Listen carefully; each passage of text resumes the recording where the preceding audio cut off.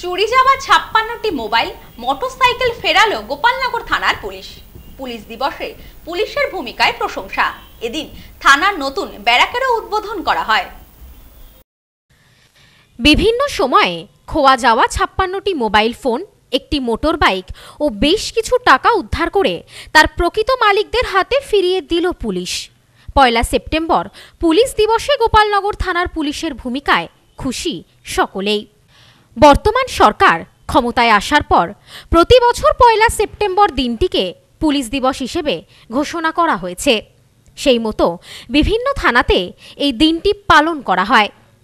এদিন উত্তর চব্বিশ পরগনার বনগাঁ পুলিশ সেলার অন্তর্গত গোপালনগর থানার পক্ষ থেকে এক বিশেষ কর্মসূচি গ্রহণ করা হয়েছিল।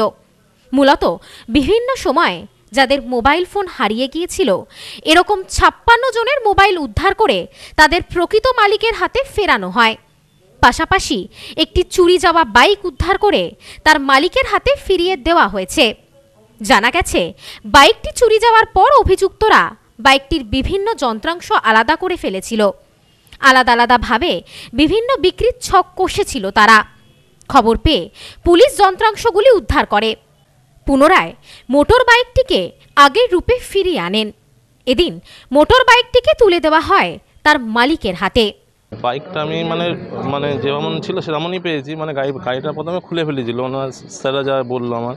কিন্তু গাড়িটা পেয়ে আমি খুবই খুশি, আর আমার হাতে তুলে দিয়েছে ওই মোটামুটি কুড়ি বাইশ দিন পরে। মানে আমি তো সঙ্গে সঙ্গে এসেছিলাম থানায় খুব আমার জন্য খুব উপকার হয়েছে আর আমি গোপালনগর থানায় খুবই ধন্যবাদ জানাব আমার উপকার করার জন্য।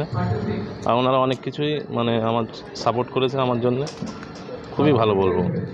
এদিনের অনুষ্ঠানে উপস্থিত ছিলেন বনগাঁ পুলিশ জেলার পুলিশ সুপার জয়িতা বসু, অতিরিক্ত পুলিশ সুপার সজল কান্তি বিশ্বাস। এদিন পুলিশের একটি নবনির্মিত ব্যারাক ও গোপালনগর থানা প্রাঙ্গণে সজলধারা প্রকল্পেরও উদ্বোধন করা হয়। এই বিষয়ে পুলিশ সুপার এবং গোপালনগর থানার আধিকারিক সহ অন্যান্যদের কাজের প্রশংসা করে বলেন।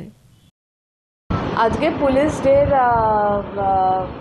আজকে পয়লা সেপ্টেম্বর পুলিশ ডে রাজ্যব্যাপী ভাবে খুব সাড়ম্বরে পালিত হচ্ছে এবং আমি অত্যন্ত আনন্দের সঙ্গে জানাচ্ছি যে আজকের দিনে গোপালনগর থানার তরফ থেকে ছাপ্পান্নটা মোবাইল যেগুলো হারিয়ে গেছিল বিভিন্ন সময় আমরা সেই মোবাইলগুলো তাদের রাইটফুল ওনারদের হাতে ফিরিয়ে দিতে পেরেছি আজকে। এবং একটি বাইক যেটা চুরি গেছিল এবং সেটার স্পেশালিটি হচ্ছে সেটা ডিসম্যান্টেল হয়ে গেছিল। মানে বিভিন্ন পার্টস তার খুলে এবং সেটাকে বিক্রি করার চেষ্টা হচ্ছিল। বিভিন্ন পার্টসগুলোকে এ করে।